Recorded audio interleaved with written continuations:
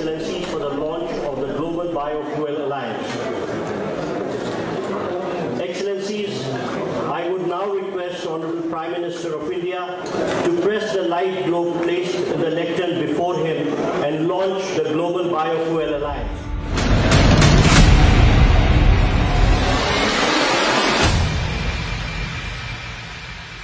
to support respective net zero targets, to solve the energy quadrilemma, to strengthen circular economy and provide cost-effective and environmentally favorable alternative. Global sustainable biofuels production needs to triple by 2030.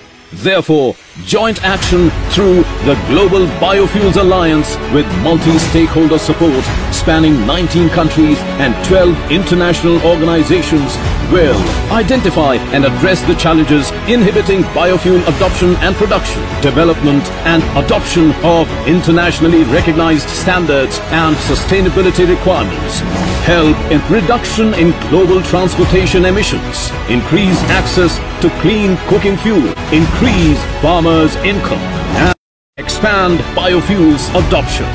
The Global Biofuels Alliance.